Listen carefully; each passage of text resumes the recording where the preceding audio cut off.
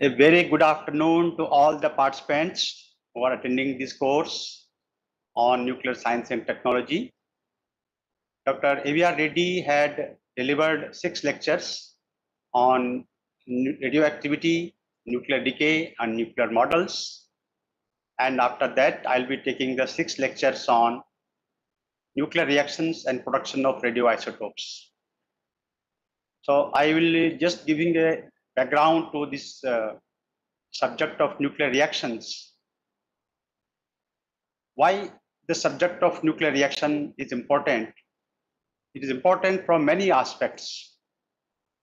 One of the main aspects is the production of isotopes itself.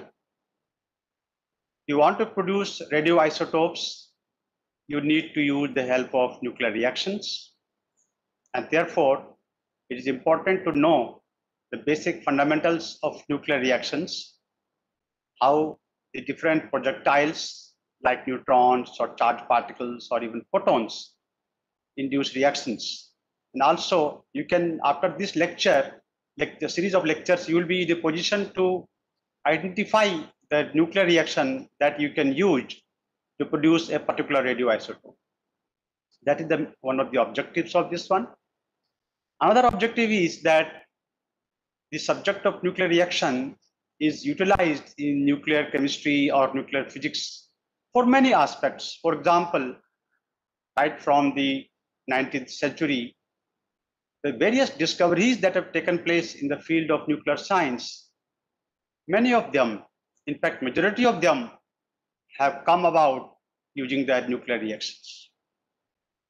So I will just give a brief historical account of the development of the subject in the early 20th century that led to this branch of nuclear science. In addition to this, you want to study the structure of nuclei, then you need to probe, bombard the nucleus with different projectiles so that you can study the structure of nuclei. So the subject of nuclear spectroscopy also arises from the nuclear reactions. So this, the basic requirement is that we need to understand the mechanism of nuclear reactions when we are carrying out any activity by like producing radioisotopes or studying the structure of nuclei. So I will give a brief background, the historical account of the subject of nuclear reactions, particularly in the early 20th century.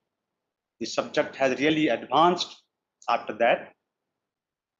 Subsequently, I will come to the basics of nuclear reactions, wherein what are the conservation laws that govern the nuclear reactions. For example, if you write, want to write a nuclear reaction, we have to take cognizance of certain laws and that write the nuclear reaction. After that, I will cover the energetics of nuclear reactions. What are the types of energies involved in nuclear reaction? And depending upon the energetics, you will find that you can have different consequences. Sometimes you may have to supply energy like endothermic reactions. Sometimes the energy is released like exothermic reactions. In nuclear reactions, we don't call exothermic or endothermic, we call exoergic or endoergic. And then subsequently, I will discuss the, just touch upon the cross sections of nuclear reactions and the details of the cross section part I will cover in the next lecture. You please do write your name and affiliation in the chat box so that we know that you have attended this lecture. And also, if you have any questions during the course of this lecture, do write in the chat box. I'll be happy to answer that. And if you are not able to write during this course, you can write an email to me, which I had given in the beginning of my presentation. Okay, so let us just touch upon the history of nuclear reactions. And as Dr. Reddy discussed in his first lecture, the very first experiment to even probe the structure of atom was by Ernest Rutherford in 1911, where he bombarded the metal foils with alpha particles emitted by naturally occurring radioisotopes like radium and polonium, radium 226, polonium 210. And based on the number of alpha particles that are scattered in the forward direction or in the backward direction, he concluded that at uh, in, the, in the nucleus at the center of the atom in a very, very small volume. Roughly, if the atom is like a football ground, then the nucleus is like a football. And so this was a, this was the, an, an experiment of far-reaching consequences in the field of nuclear science. I'll come to another experiment of this type, which happened in the 1960s and which opened another chapter in the subject of nuclear science. So in the, in the words of Rutherford himself, when he observed this, the backscattering of some of the alphas at almost backward angle, he, he, he, wrote, he wrote, it was quite uh, a, the, the most incredible event. It was almost as surprising as if a gunner fired a shell at a piece of tissue and the shell bounced back, right back. And this was published in philosophical magazines in 1911. So the, the very discovery of nucleus itself arose from the inquisitiveness of Rutherford to bombard the, the metal foil with alpha particles. So if you want to understand a, a particular object, we need to bombard it with some different probes. And we have now many, many probes in our at our disposal. But at that point of time, these alpha particles emitted from naturally occurring radioisotopes were the only probes that were available. Subsequently, in fact, the, this particular reaction was not a nuclear reaction because you can see here that was mainly the scattering of the alpha particle by the nucleus. So it's a Coulombic interaction. So when we say nuclear reaction, it is the nuclear force coming into picture so the two objects like a projectile and a target, here the alpha particle and the nitrogen 14, they come under the influence of nuclear force of each other and there could be exchange of particles between them. For example, in this reaction, which was the reaction by which proton was discovered by Rutherford in 1919, the protons produced fluorescence at a screen. And so Rutherford concluded that there are positively charged particles in the nucleus and called them as protons in 1920. But you can see here that this oxygen 17 that is produced is not radioactive. It is a stable isotope of oxygen. So nuclear reaction subject started, but uh, not for production of radioisotopes. Later on in 1932, James Chadwick, the student of Rutherford, carried out these experiments of this type, alpha particle bombardment with different metal, metal different targets. And he concluded about the uh, one of the radiations, highly penetrating radiations, which was assumed to be a gamma rays by some of the workers, but then he conclusively proved that this is not a photon, but it is a particle from the, the, the, the energy, the range, and the interaction that is a neutral particle. And so he concluded that this is a, a new particle which is neutral and it is a, a nuclear particle. James Chadwick uh, received the Nobel Prize for this particular discovery. And again, you can see at that time, the alpha particles from polonium-210 were used as a projectile to bombard the nuclei.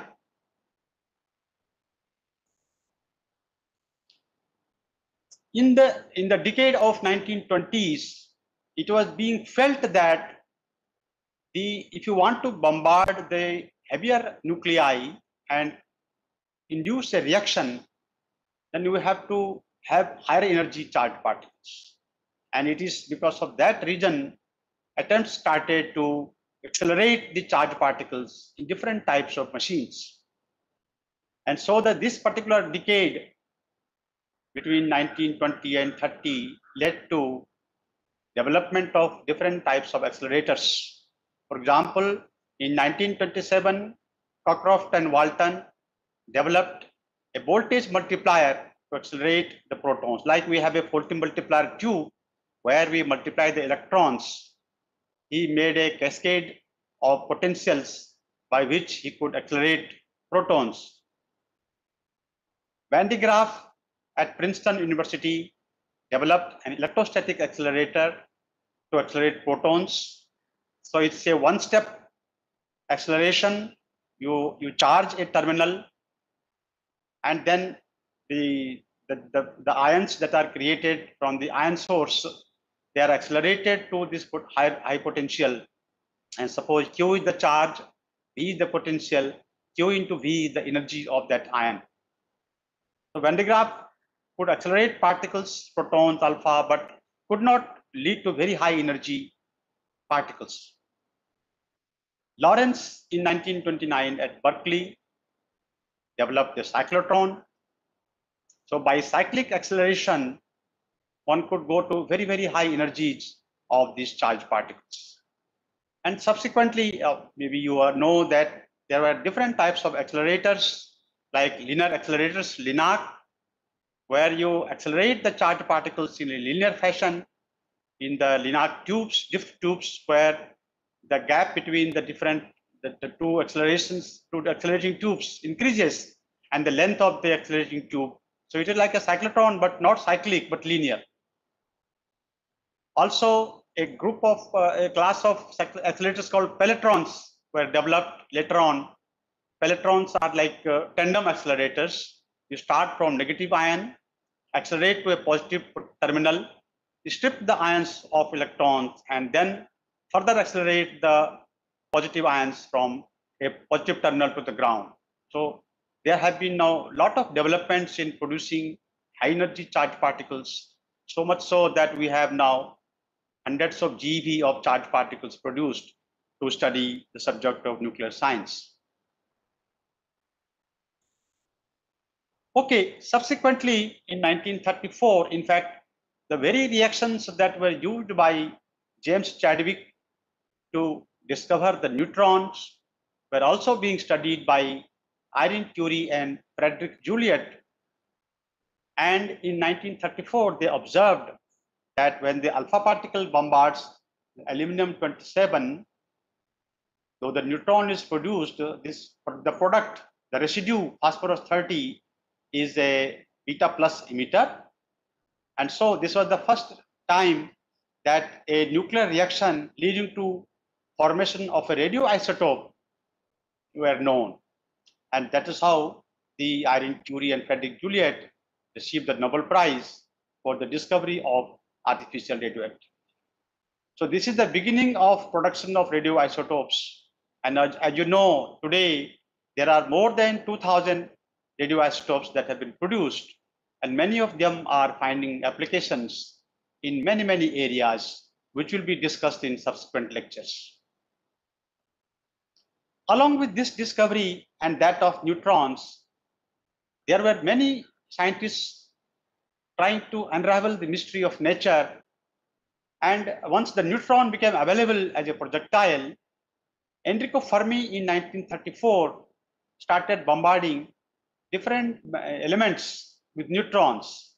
And the familiar reaction that was he found that after capture of neutron by a stable isotope, and then there is a gamma ray emission, there is a next isotope of that element, for example, sodium 23 and gamma, sodium 24, and that is undergoing beta minus emission to give a next higher uh, element. So the isobar of higher Z. Similarly, cobalt 59 and gamma giving cobalt 60, which is undergoing beta minus decay to give nickel 60. So you can see here that these reactions are giving element of higher atomic number.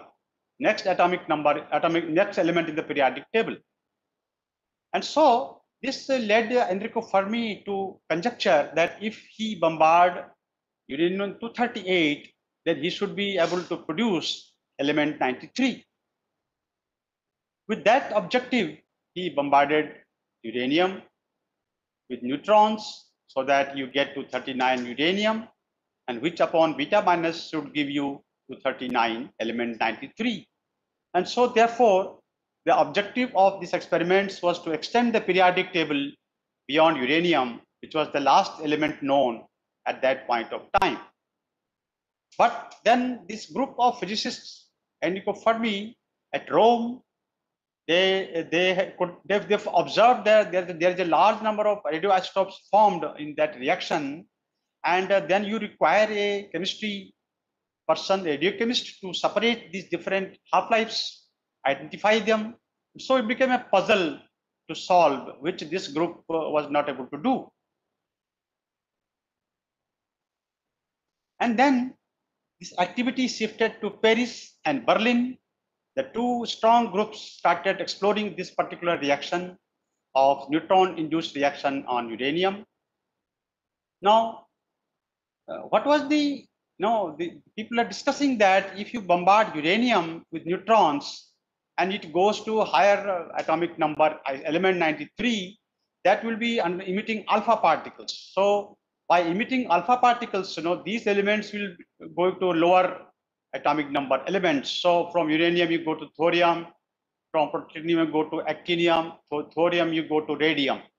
So they were looking for separating radium, actinium elements uh, in the reaction products after bombarding thorium and uranium with neutrons.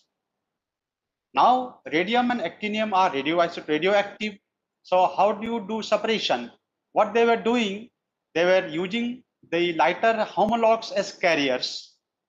So to separate radium, you, you use barium and separate barium compounds like barium nitrate, barium sulfate, barium carbonate. To separate actinium, they were using lanthanum as a carrier. And so you can separate lanthanum as a fluoride or oxalate and so on. So the Irene Curie and Frederick Joliot group they wanted to separate actinium and they found that one of the activity was separated with lanthanum as a carrier. Now they they they were actually they are observing fission, but they uh, they are not able to conclude that they had produced lanthanum. Instead, they concluded that it is the actinium isotope that are produced in bombardment of neutron about uranium by neutrons. Then come the very clever experiments by Otto Hahn and Strassmann in 1938. And in fact, one of these are one of the finest radiochemical experiments ever done. So they were concentrating on the radium activity and uh, that radium activity, that time they used radium 226 as a carrier, as a tracer for, for radium. And they also used barium to precipitate this activity. So you have, you wanted to confirm whether this is barium or radium. So what they did, they used fractional crystallization of barium and radium fractions. Now they found that the so-called radium activity was fractionated with barium fraction, which was very, very difficult to expect at that point of time because fission was not known. So Otto Hahn published a paper, wrote that bombardment of uranium with neutrons gives barium isotopes.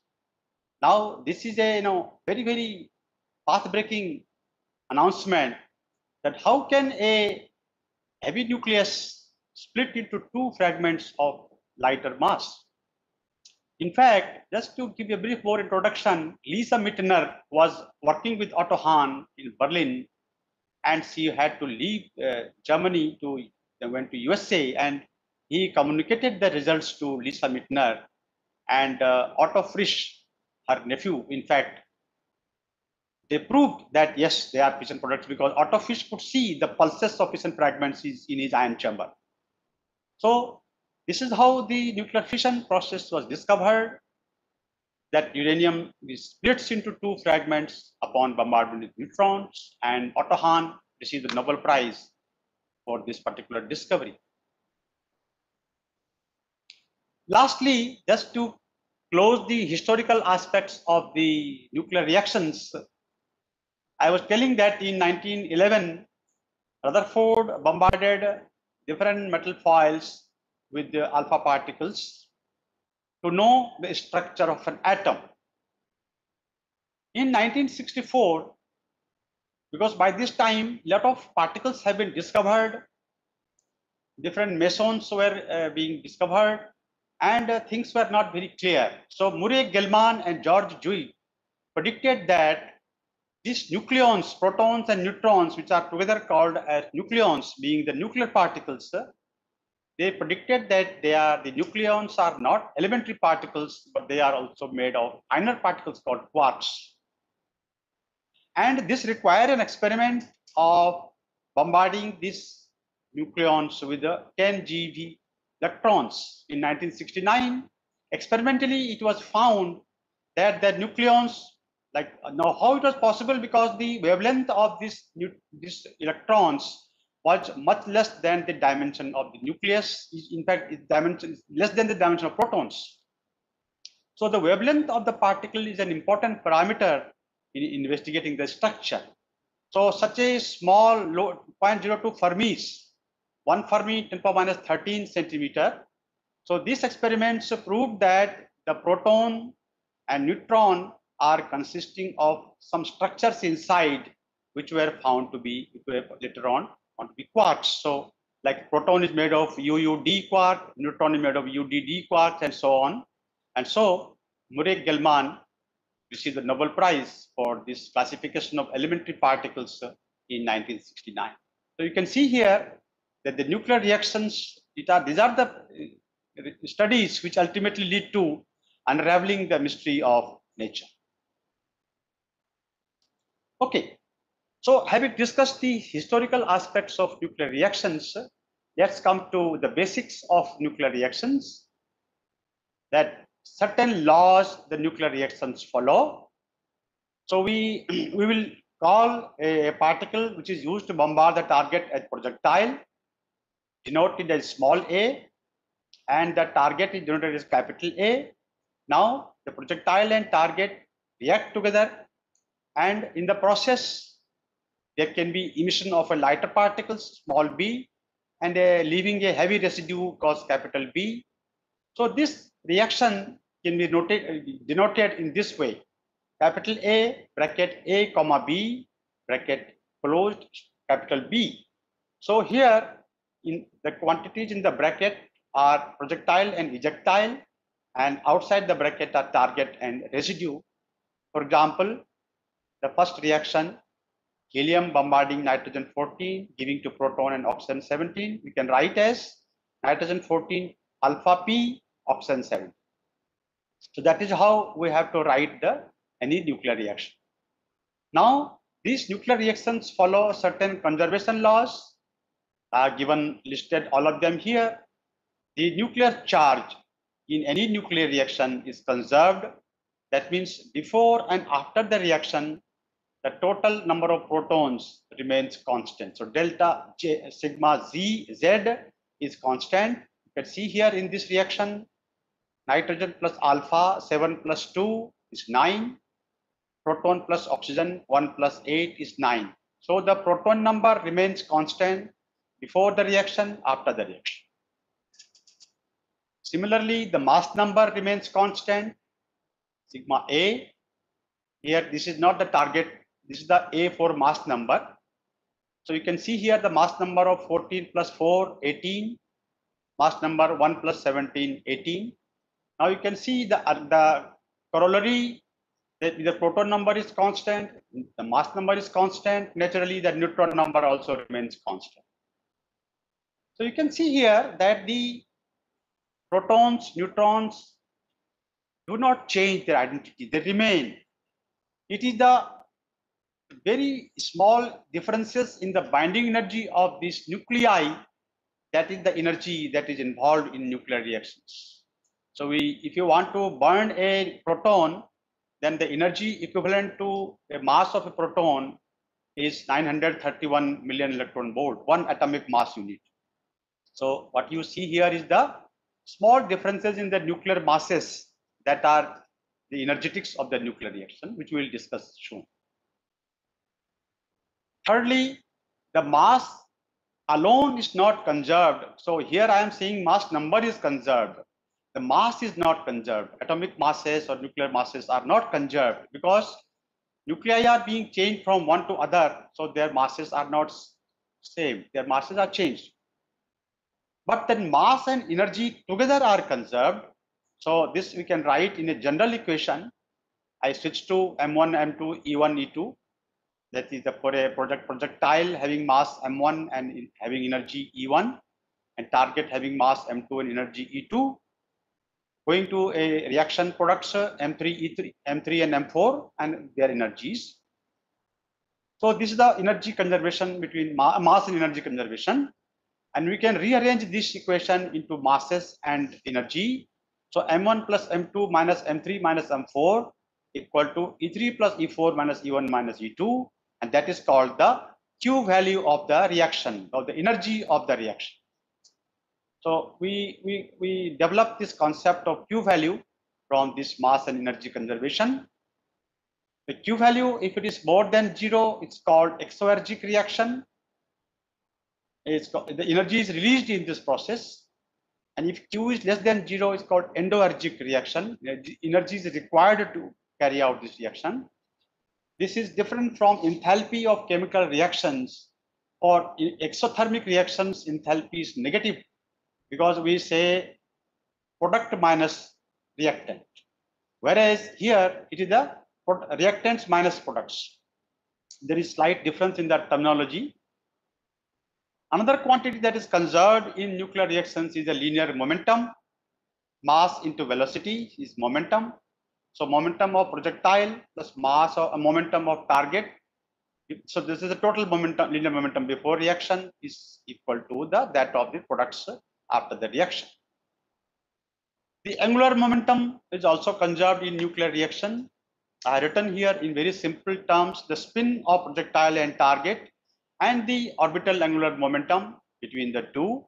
So it could it is not necessarily plus it could be plus minus also because angular momenta are vector quantities. They can add vectorially in different ways. So the initial angular momentum, sum of the spin and orbital part is conserved after the reaction. In addition to these quantities, another quantity is parity. Parity, Dr. Reddy explained, it is just like, the nature of a function or in, in the shell model, you must have come across S orbital is having even parity, p orbital is odd parity, d orbital is even parity, and so on. So parity is minus 1 to the power L, where L is the angular momentum. And so the parity is conserved before and after the reaction. And similarly, the statistics, like we have the fermions, which follow Fermi-Dirac statistics, and the bosons, which follow Bose-Einstein. So the, the statistics also is conserved before and after the reaction. Now let's discuss the energetics of a nuclear reaction. I will uh, discuss in more details because these are the foundations of the nuclear reaction. Many of the expressions that we derive in this uh, particular lecture will be useful for many more lectures. And therefore, I thought I'll spend a little more time. So let us consider a projectile of mass m1 and energy e1 bombarding a target target of mass m2 which is at rest. Naturally this target is stationary. And uh, they may amalgamate into a sort of a compound nucleus or a composite nucleus. And subsequently it can give two particles like a particle ejectile m3 and the heavy residue m4 with energy e3 and e4 at different angles. So M3 goes at theta angle and M4 goes at phi angle. So essentially we are studying the kinematics of this nuclear reaction and we will derive some important formulae from this exercise. The exercise nothing but solving the equation of conservation of mass and energy and linear momentum. The mass and energy conservation equation I had shown in the previous slide m1 plus e1 plus m2. Now e2 is not there because e2 is 0 equal to m3 plus e3 plus m4 plus e4. This is equation 1 and from there we can write q value. Q value equal to M1 plus M2 minus M3 minus M4 or equal to E3 plus E4 minus 1. And the, the linear momentum has to be conserved in the direction parallel to the beam and perpendicular to the beam. So parallel to the beam direction, the component of linear momentum in this direction is root 2 m1 e1 for the projectile. m2 is stationary, so no momentum. And for this m3, the par par parallel to beam direction, root 2 m3 e3 cos theta plus root 2 m4 e4 cos phi. This square root goes up to m4 e4 up to e4. So this is the equation for linear momentum conservation parallel to beam direction. And similarly, we have the parallel perpendicular to beam direction. This particle, this component is zero. Perpendicular component is zero here. And for the ejectile, root 2 m3 e3 sine theta minus root 2 m4 m4 sine phi. So we have now three equations and we can eliminate e4 and phi from these three equations. So we can, if we eliminate, then we get an equation m3 plus m4 e3 minus 2 root m1 m3 e1 e3 cos theta plus m4q minus m4 minus m1 e1 equal to 0. And this equation is quadratic in square root of e3. What is e3? It is the energy of the ejectile. So if you want to solve solve the equation for energy of ejectile at a particular angle, we can write this in the quadratic in terms of root e3, that is like x square plus bx plus c equal to 0. And the, the roots of this equation then become like this. The equation like root of that equation will be x equal to minus b plus minus b square minus 4ac upon 2a so root E3 equal to B plus minus B square plus W, where B and W are given in this fashion. These are actually from the previous equation. So you can write here, this is like A, A, x square plus bx plus c. So this is A, this is B, and this is C. And in terms of, so you can write V and W. So V equal to root M1, M3, E1 cos theta W is equal to M4Q plus E1, M4 minus M1 by M4. So you can now find out the solution of this equation. Uh, that's called the Q value equation, which you can also write in this way, Q equal to this way. And then you can, so essentially what you want to know that if a projectile is bombarding a target, then at a particular angle, what is the energy of this projectile, you can calculate. So the energy of the reaction products can be calculated for any angle and projectile energy.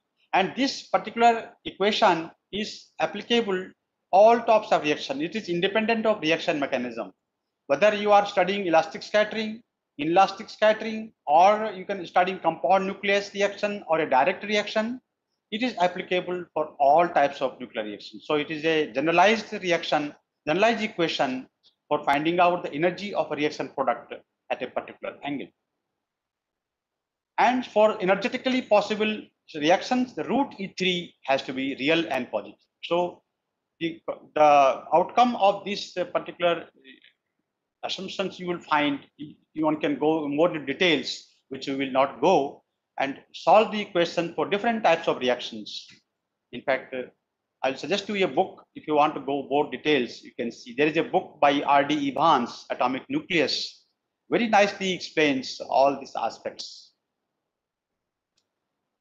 Okay, now many a times uh, we will discuss this energy in center of mass system. The whatever energy the projectile has, all of it may not be available for causing the nuclear reaction. And therefore, I thought I'll spend little more time on finding out what is the useful energy like we have in chemistry free energy is the useful energy to do the work in nuclear reaction it is the energy available in center of mass that is the useful energy so i will discuss these collisions in the laboratory and center of mass system in the laboratory system coordinates this is the scenario that is the projectile m1 velocity v and energy e1 bombarding a target which is stationary. And so the center of mass of this system. Like if you have the mass here, so you can find out the center of mass at a particular coordinate like m1 r1 plus m2 r2 by m1 plus m2. But here, this is a moving system, it's a dynamic system. So if the mass, the, the projectile is moving towards the target, the center of mass also moving towards this one. And after the reaction is over, this suppose let us say in elastic scattering, the projectile and target will go in different direction, theta and phi. The center of mass remain between the a line at the, in the line joining the two. So this x denotes the position of the center of mass after the collision. Now let us carefully see this, what I have written here, the momentum conservation, momentum of the uh, system before collision. You can see momentum of projectile is m1v, which is nothing but the momentum of the center of mass, m1 plus m2 vc, where vc is the velocity of the center of mass, let's combined system. So from this equation, you can find out velocity of the center of mass equal to m1 v1 by m1 plus m2. So this is the velocity with which the center of mass is moving. Now, if the center of mass is moving velocity v, vc, what is the energy tied up in motion of center of mass? Half m1 plus m2 vc square, where m1 plus m2 is the mass of the composite system. So the composite system is moving velocity vc and the kinetic energy will be half m1 plus m2 vc square. Now you can substitute vc by this equation. It becomes half m1 plus m2 into m1 v1 m1 square v1 square plus upon m1 plus m2 square and it can be given as half m1 v1 square v square upon m1 plus m2 this m1 plus m2 will cancel with this m1 plus m2 and so the kinetic energy of center of mass is given by m1 half m1 v1 square half m1 v square is kinetic energy of projectile e1 upon m1 plus m2 you see here this is the fraction of e1 m1 by m1 plus m2 this much fraction of e1 is spent in the motion of center of mass.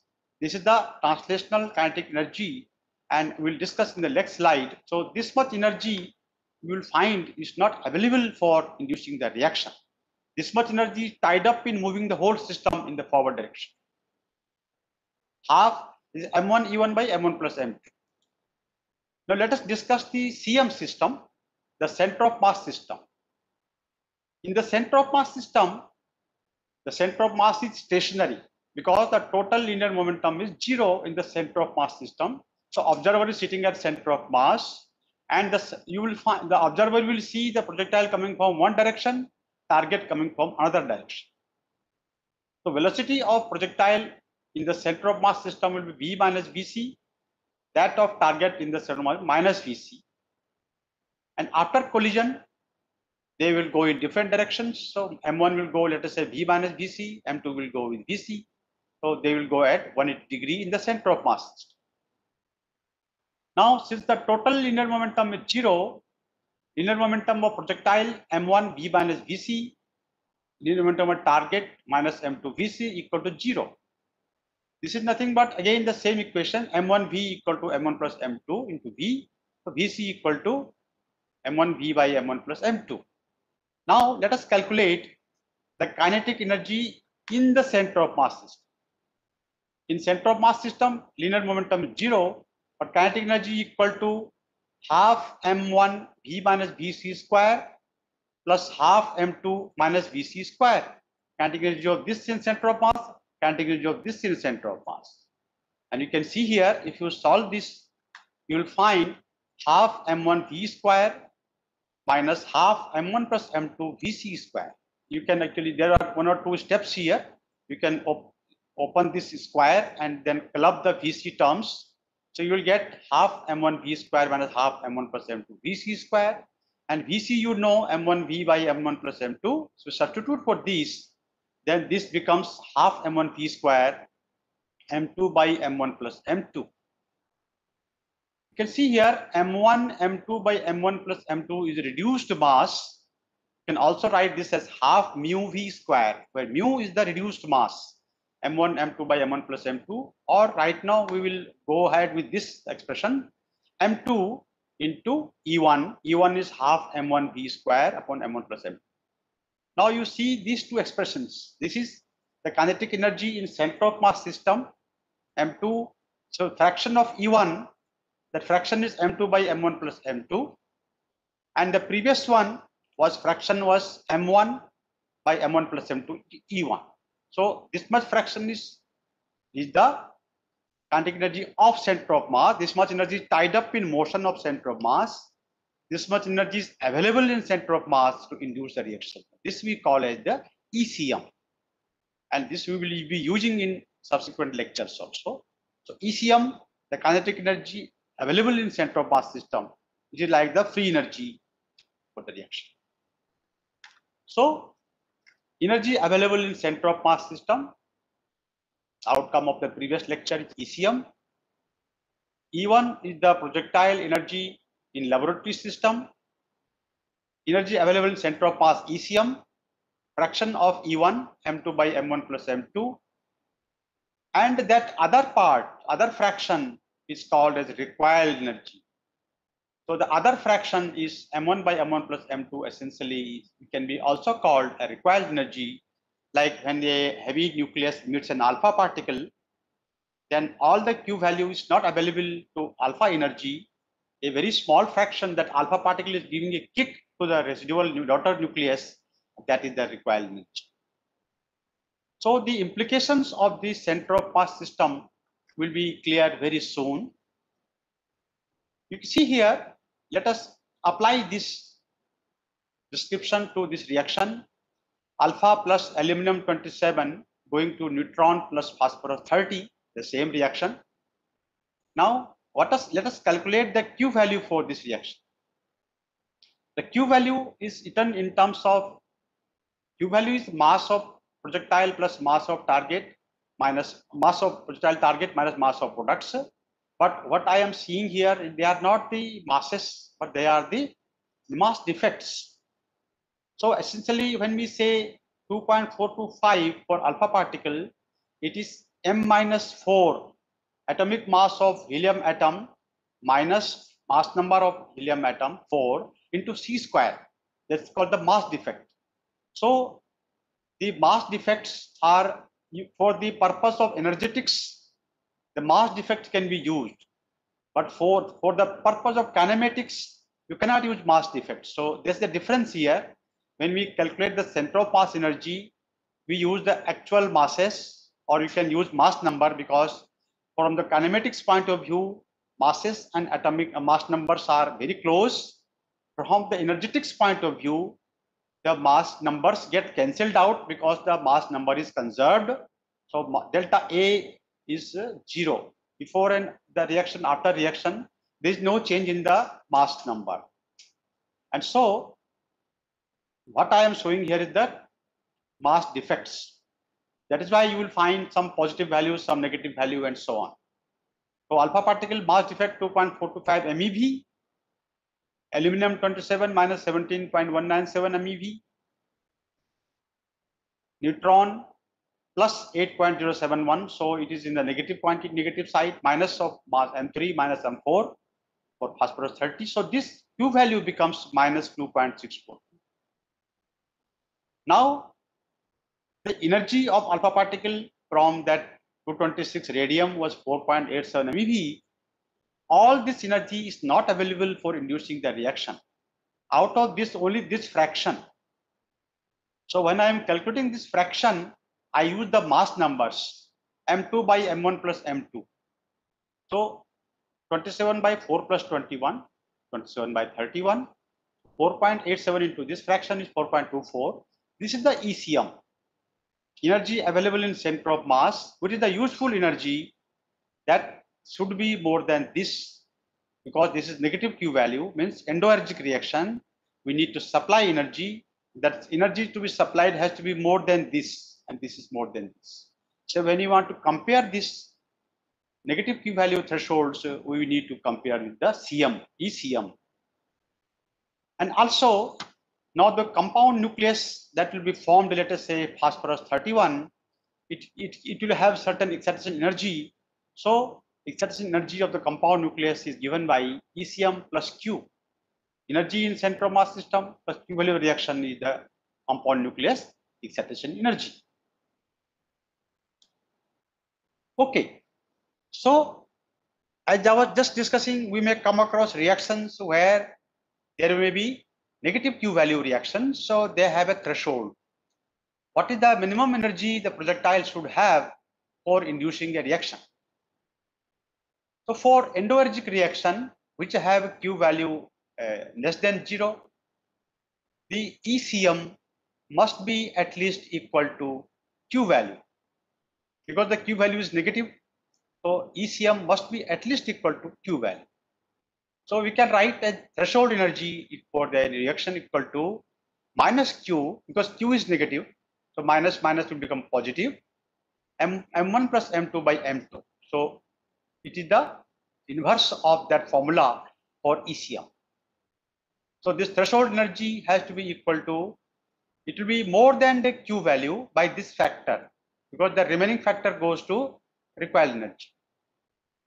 So for this reaction, alpha plus aluminum 27, neutron plus phosphorus 30, which has the Q value minus 2.642 MeV, threshold energy minus Q into 31 by 27 equal to 3.033 MeV. So you can see here that for this reaction, there is a threshold of 3.033 MeV. But the projectile here is a charged particle and the charged particle induced reaction. Not only they have to cross the energy threshold, there is another threshold that is the Coulomb barrier. And therefore, the Coulomb barrier also has to be crossed. So to calculate the Coulomb barrier for a charged particle induced reaction, we generate the Coulomb barrier formula Z1, Z2 E square by R1 plus R2. If you have two, two a projectile and target, let's say spherical uh, particles, I can just show you in my blackboard.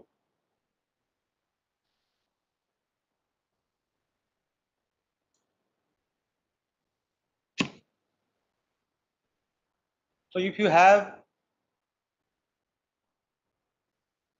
so let us say they, they are touching each other.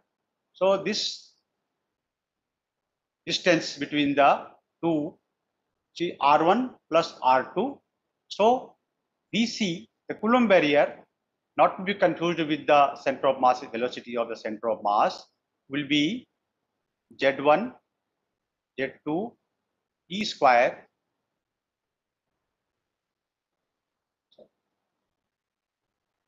upon R1 plus R2. Now, if you say spherical, uh, if you take the project, this one as project uh, projectile and targeted spherical nuclei, then you can say R equal to R0 e power one third. So A is the mass number. And now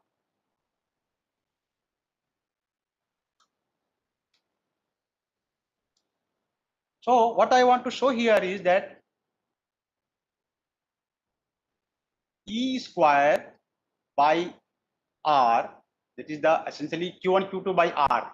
How does become energy in a MEV? So you can write the charge of an electron in ESU 4.8 into 10 power minus 10 ESU square. You have to square it upon 10 to the power minus 13 centimeter. So ESU square upon centimeter will become ergs. And whatever comes in ergs, you can convert into MEV. So you can say one erg will be 6.24 into 10 power 5 MeV.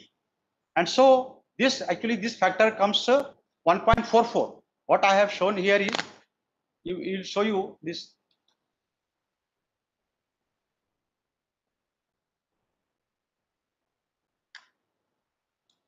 here what I have shown that whatever I derived in the previous one that will become 1.44 as a factor which will straight away come in MeV. So you will be using this in your numericals, this factor 1.44 to calculate the Coulomb barrier in MeV.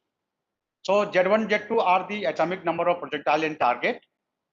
R0 is the radius constant, which is can be given 1.5 per Fermis. And then the mass number of projectile and target to the power one third. So using a calculator, one can calculate the Coulomb barrier. So for this system, alpha plus aluminum 27, 1.44, 2 into 13 upon 1.5, 4 to the power one third plus 227 power one third becomes 2.787 MeV. So now ECM has to be equal to Coulomb barrier. This is the condition that if that means to cross the Coulomb barrier, the energy in center of mass system must be at least equal to Coulomb barrier. So if you want to calculate now threshold, corresponding threshold for a Coulombic reaction, then E threshold for Coulombic point of view, Vc into M1 plus M2 by M2, 2.787 is the Coulomb barrier, Vc into 31 by 27, 3.20 MeV. You can see here, based on the energy threshold for this reaction, 3.033 MeV energy will do. But based on the Coulomb barrier, you require 3.2 MeV energy. So when you are discussing the charge particle induced reaction, not only that we have to consider the energy threshold if Q value is negative, we have to also consider the Coulombic threshold and arrive at the threshold energy. Whichever of this, these two is higher, that is the threshold. Okay. So lastly, I will just touch upon this aspect of cross section of a nuclear reaction. The cross section, which we denote as sigma, is a measure of the probability of occurrence of a nuclear reaction. Uh, you can see that it is a cross sectional area. You can see that this represents the cross sectional area offered by the target nucleus to the projectile in this reaction. So a very simple diagram, if a projectile, small projectile is coming and hitting a target which is much bigger than this one, then the cross-sectional area a, a plane vertical to this direction is the circle and the circle will have an area pi r square. So that is why we say the units of cross-section is barns and one barn is 10 power minus 24 centimeters square because the dimensions of the nuclei are of the order of 10 power minus 13, 10 minus 12. So the cross section, the cross section for nuclei, nuclear reactions is represented in terms of barns. One, this is a very small quantity, so we will use always barns.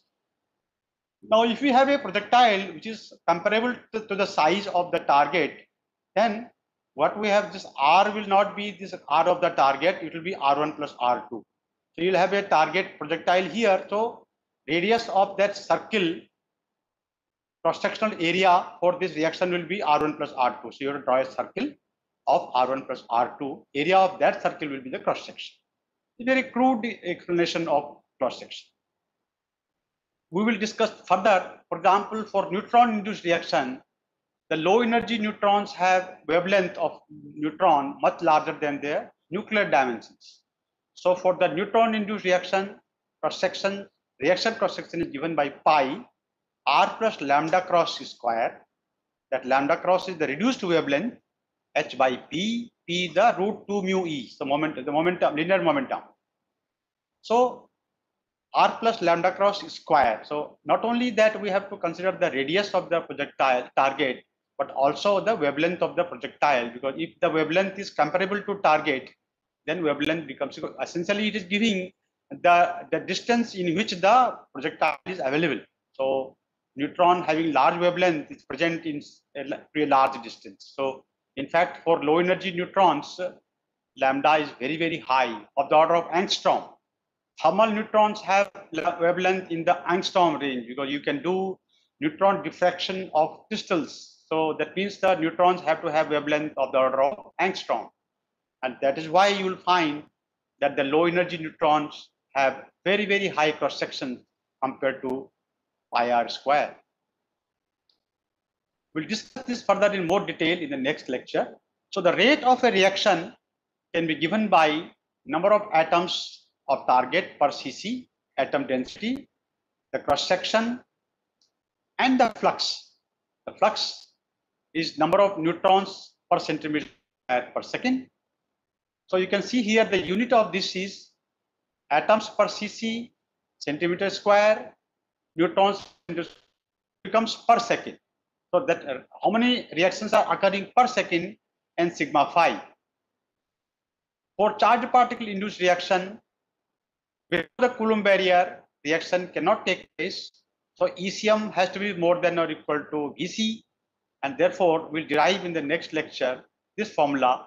For section for charged particle induced reaction is given by pi r square 1 minus VC upon ECM. So while for neutron induced reaction, cross section goes and decreases with increasing energy of neutron. For charged particle induced reaction, cross section is zero up to a certain energy and then increases with increasing energy of the projectile. Here, the rate of the reaction is given in terms of number of target atoms per centimeter square because in, in the case of react neutrons react in the reactor, entire target is irradiated with neutrons. In the case of target in the alpha charge particles, only a small area is irradiated with the charge particle because the beam dimensions are finite. I is the number of particles per second. And so again, you will find the, this becomes equal to the number of reactions occurring per second.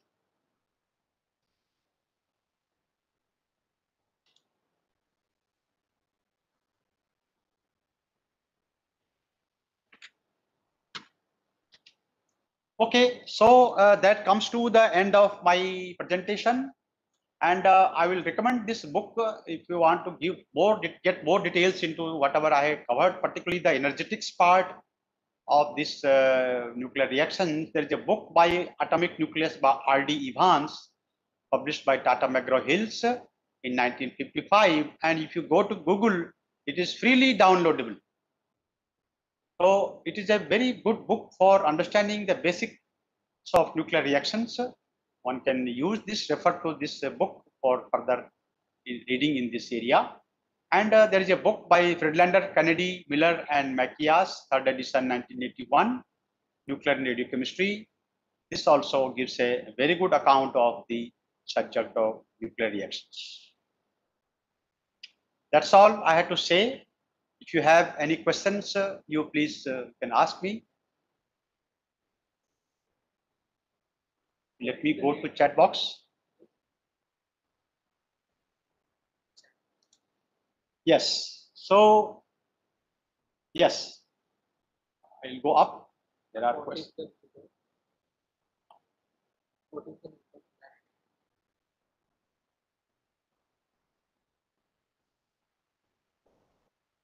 Yeah, it will be there. Yeah, yes, there are questions, so I will address them one by one. There is a question from Ajit Mandal. Can you say a bit about quark composition of nucleon, UUD and UDD? UDD? So, uh, suffice is to say that protons and neutrons are a family of these particles. They are called baryons. And uh, these quarks, in fact, there are six types of quarks. You, you must be reading, many of you already know. Up quark, down quark, top quark, bottom quark, charm quark, and strange quark. What was the, you know, the, the, the curiosity arose when the, the nuclear neutron, which is a neutral particle, was found to have a magnetic dipole moment you know that neutron has got a magnetic dipole moment of minus 1.91. So this was a riddle. How can the neutron have a, magnetic dipole moment? So that means when a neutron rotates, it generates a magnetic field. So there has to be some charge inside the neutron. Similarly, proton anyway, proton is charged, but that charge of half the charge one plus is a the charge. But then it was found, as I showed in the electron scattering experiment, that there is a there are three ident, ident, identity elements particles and there is a gluons so In fact, these quarks contain only 50% of the mass of the uh, proton, remaining is in the form of gluons. So they glue these three quarks. Now, it is, it is a subject of high energy physics, uh, quark uh, model of nucleons. There are different types of particles formed by different combination of these quarks, six quarks. So like we have told about a, a U and D quark form uh, proton and neutron. There are strange quarks and many other quarks which are formed by different combination of these six quarks. And uh, there is a periodic table, like we have the periodic table of elements, we have a periodic table of this uh, uh, baryonic matter. They are made of odd quarks. Uh, and even quarks, you know, one quark and anti-quark may will make a meson. The quark anti-quark pair forms a meson. Like you talk about pi mesons, pi plus, pi zero. They are made of quark anti-quark pairs, which are the exchange particle between the neutrons, protons and neutrons. So the, now there is a totally different uh, subject of high energy physics, which is beyond the nuclear physics, and you can uh, produce. You can they have been all discovered the six quarks, but you cannot have a free quarks because they are all confined inside the nucleons like a balloon. And the more you expand this uh, uh, quark gluon plasma, they say the more difficult it is. So this is a confinement problem. So I am not an expert in the high energy physics, but I want to give a flavor of that, that the different elementary, different element uh, nucleons or different baryonic matters are made of quarks, uh, compositions of different types of quarks.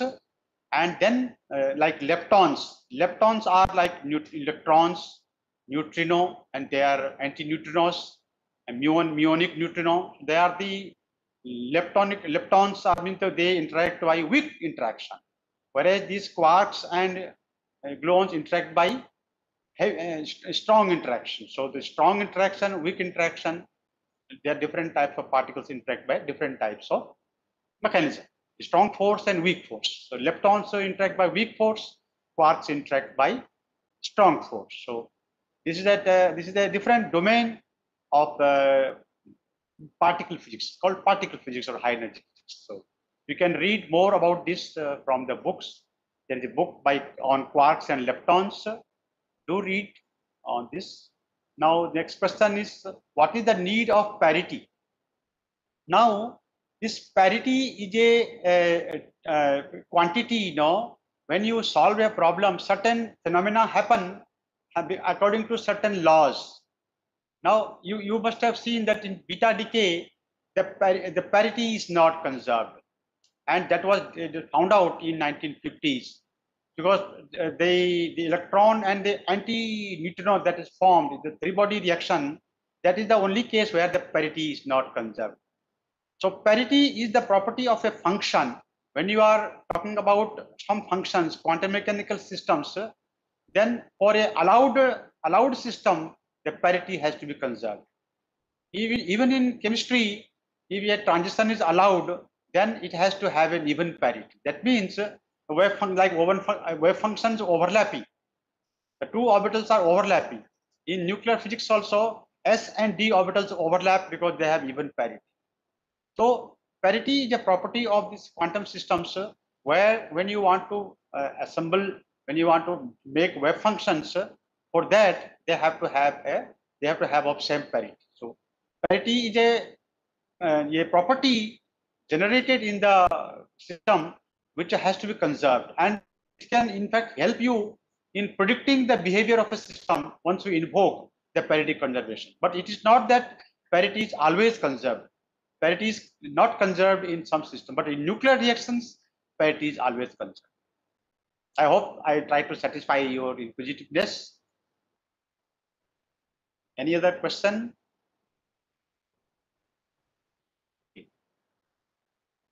So if there are no further questions, uh, I thank you for your attention and do write to me if you have any further questions. You can write email to me. And uh, I hope you have written, registered your attendance and we will be, I'll be posting some assignment in next, next lecture. You can uh, solve and submit it. Okay, thank you. Bye bye